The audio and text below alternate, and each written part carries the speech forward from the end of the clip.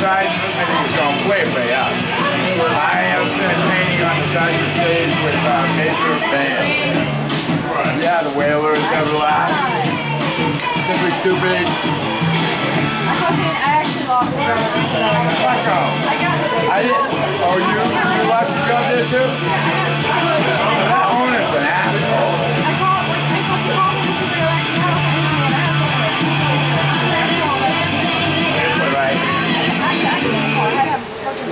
My boyfriend call me. Like, Hey, he threw away eight hundred dollars worth of my paint. Oh my That was god. correct.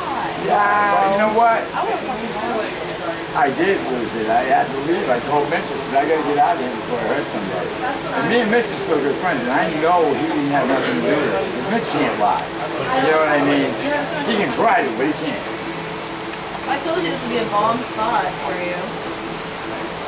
And I'm so so. So you guys know, we'll be out at the Blueberry Patch on Oh Saturday.